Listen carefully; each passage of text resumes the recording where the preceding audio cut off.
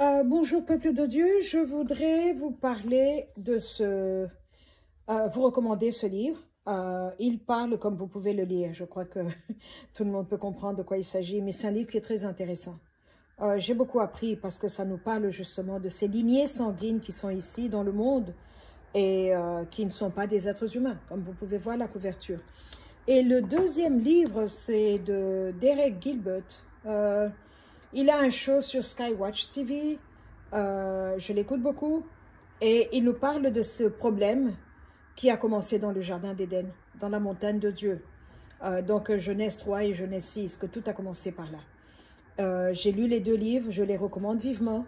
Et comme je vous l'ai dit, j'ai commencé à vous recommander des livres parce que nous devons lire, nous devons savoir.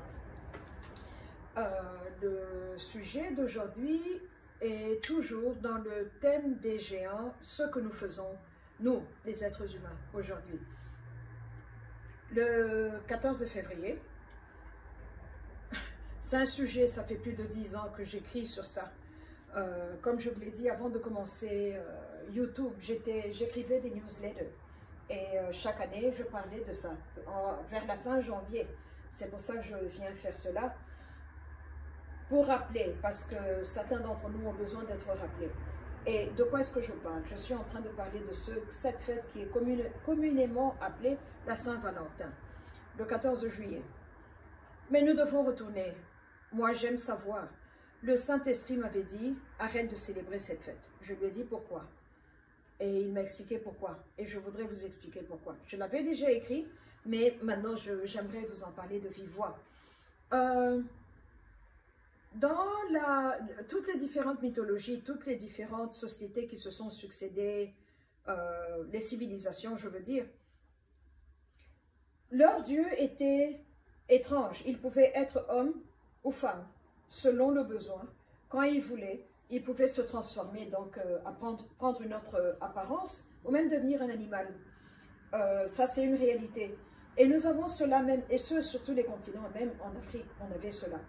Mais aussi, il y a le, le fait que on nous dit que tel Dieu a eu des rapports sexuels avec un autre Dieu et ils ont produit un enfant.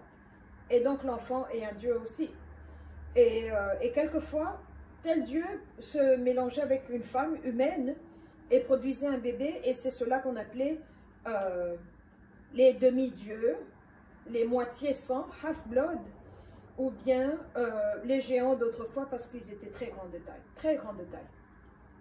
Ils n'avaient pas une, apparence comme moi, je l'ai aujourd'hui. Mais ils pouvaient devenir petits quand ils voulaient, faire ce qu'ils voulaient, puis retourner dans leur propre euh, apparence physique originelle. Donc, je...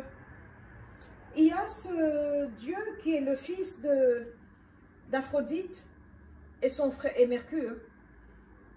Et ils ont produit ce Dieu qui s'appelait Eros. C'est de là que nous avons l'origine du mot érotique. Je crois que tout chrétien normal doit savoir que, pardon, l'amour, les différentes formes d'amour que nous avons. L'amour que j'ai pour vous, c'est agape love. C'est un mot euh, grec qui veut dire amour d'un frère à un autre. Un frère dans le contexte de Christ. L'amour que j'ai pour mes frères biologiques, les enfants de mon père et de ma mère, euh, ça c'est euh, l'amour filial. Euh, d'où nous avons le mot Philadelphie, qui, vient de là. L'amour que j'ai pour le fils que j'ai porté dans mon ventre, ça c'est le philéo, amour. C'est l'amour d'une mère à un enfant. L'amour que j'ai pour, que j'ai pour mon père. Donc, on a des différents genres d'amour. Quand je dis amour, on doit savoir de quoi je parle et le contexte dans lequel je suis en train de parler. Et maintenant, il y a cette, forme d'amour qu'on appelait éros, qui est érotique. Donc, la personne avec qui vous vous accouplez, vous avez des rapports sexuels. Ça, c'est une autre forme d'amour. Mais le mot éros, c'est de ça que je veux parler parce que éros, c'était une personne. Eros était un dieu. Il, était le fils de deux dieux. Euh, ces photos, quand vous allez sur Google, vous montrent un jeune homme qui a une couronne de laurier à la tête, mais qui était très efféminé parce qu'on dit qu'il se maquillait et qu'il était bisexuel. Euh, C'est ça qu'il était. Et le premier travail d'Eros était de jeter des traits, des petites flèches dans les cœurs des autres dieux pour susciter le lust ou l'amour sexuel entre ces dieux-là. C'était ça la première mission d'Eros.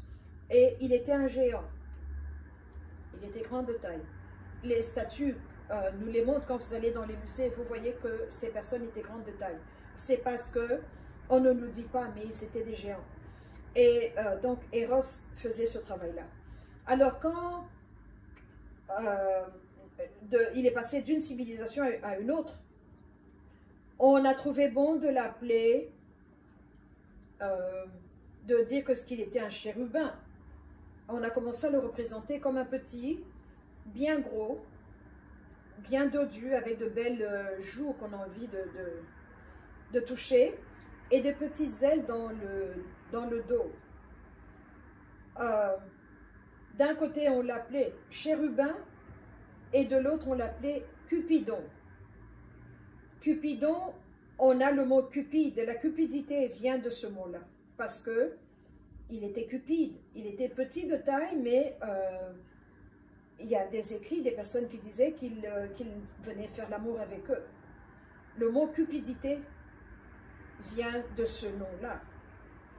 Alors, il n'était certainement pas un, un, chérubin de Dieu, parce que Dieu, la première fois que nous voyons dans la Bible, le mot chérubin, ça décrit un être avec qui on ne jouait pas. Euh, qui était autour du trône du Très-Haut, là-haut. Et euh, il y a des qualités de créatures que Dieu a là-haut qui n'ont qui pas d'interaction humaine avec nous, les êtres humains.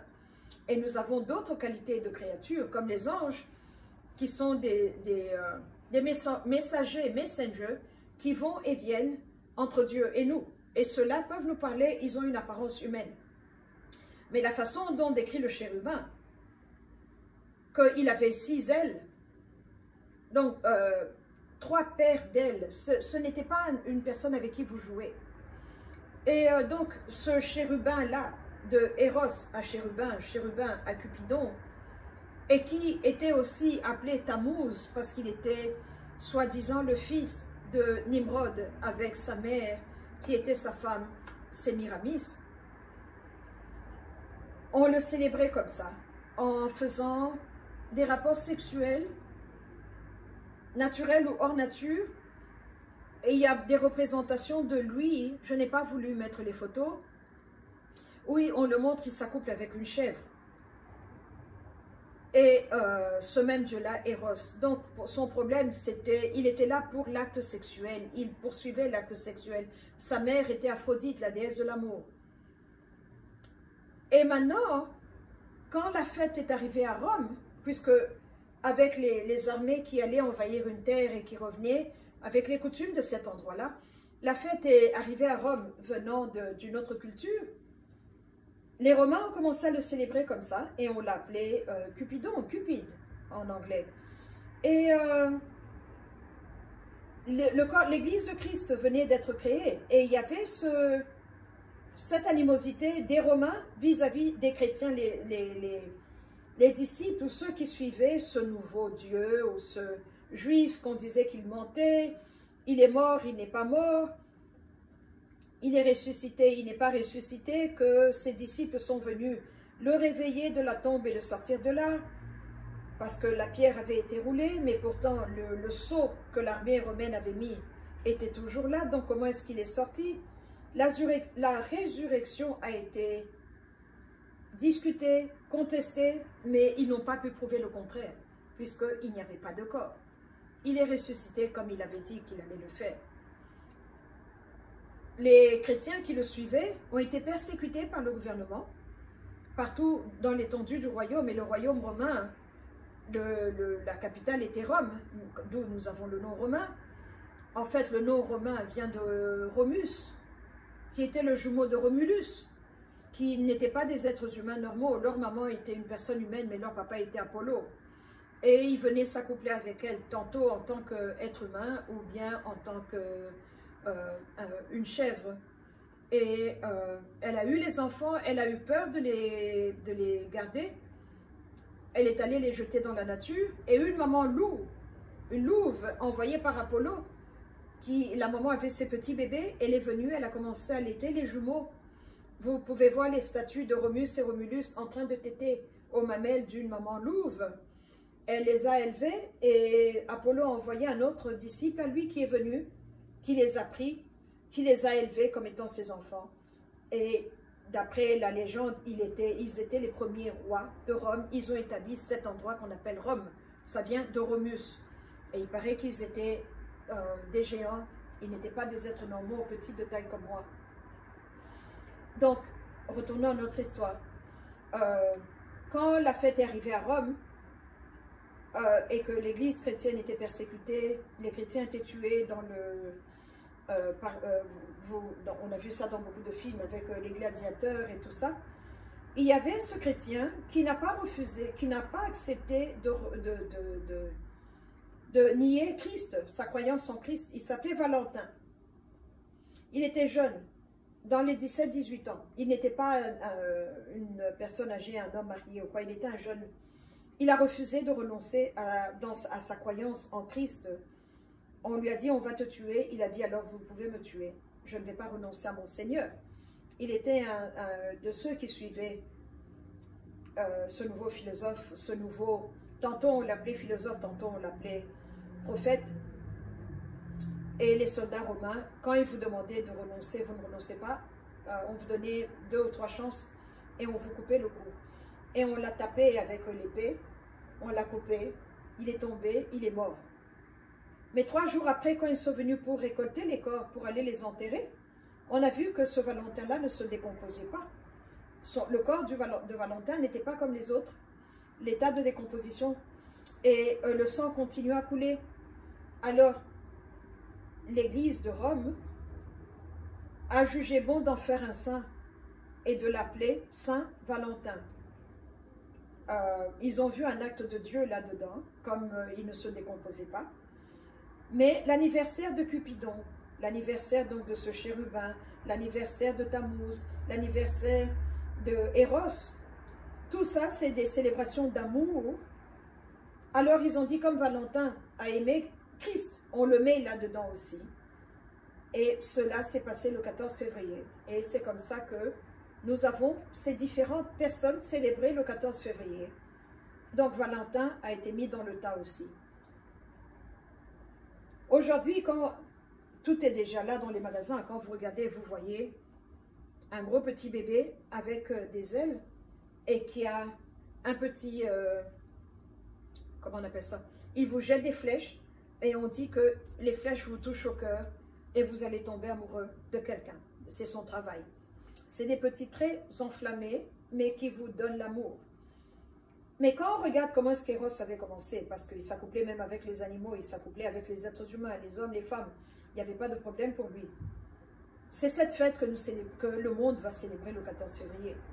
En, en, ce qui me concerne, ça fait 15 ans. Ça fait 15 ans que je n'ai pas célébrer la Saint-Valentin, que je n'ai pas envoyé du chocolat, parce que le chocolat est sucré, et euh, c'est suite, on donne aux gens. Ça fait 15 ans que je n'ai pas fait cela, euh, que je ne fais pas cela. Et ça fait 15 ans que j'en parle. Euh, et, voilà, je viens vous en parler aussi. Quand vous êtes un enfant du royaume de Dieu, quand vous avez choisi d'être dans la structure de Christ, pourquoi vouloir mélanger beaucoup de choses, vouloir prendre un système qui a commencé il y a très longtemps, une fête qui a commencé il y a très longtemps, euh, des choses qui ont commencé il y a très longtemps, mais vous les faites entrer dans votre maison. Est-ce que cela vous aide? Euh, Il y avait des apôtres de Jésus quand Valentin a été tué, qui étaient encore en vie, des, des disciples de Jésus qui ont suivi ce message-là. On ne nous recommande pas de célébrer Valentin. La Bible ne mentionne même pas Valentin.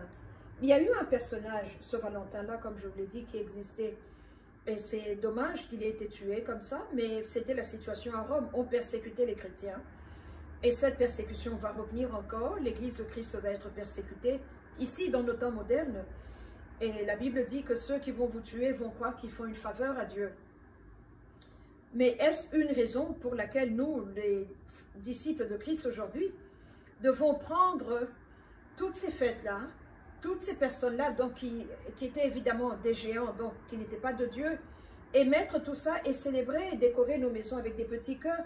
Je vous assure, si vous voyez dans le, le, le, lobby de mon bâtiment, les cœurs qu'ils ont mis, les décorations qu'ils ont mis, euh, c'est incroyable. C'est incroyable. Et c'est une fête qui rapporte beaucoup de milliards, en tout cas ici aux États-Unis, parce que les parfums vont être en solde, les bijoux vont être en solde, les voitures. Donc c'est une fête commerciale, puisque les commerçants viennent célébrer, partout il y a une fête, ils viennent célébrer pour pouvoir générer de l'argent, se faire de l'argent. Et donc c'est comme ça que la Bible dit que tous les marchands de la terre ont euh, mangé avec elle, ont travaillé avec elle. C'est ça que nous voyons. C'est ça la Saint-Valentin. On nous dit c'est la fête des amoureux, mais dans quel contexte? Maintenant, voulez-vous honorer le Héros qui était un géant homosexuel dans la bestialité? Et l'honorer, lui rendre hommage Les sous-vêtements des femmes avec des dentelles là, qui vous donnent des vertiges vont être en solde, sont déjà en solde. Euh,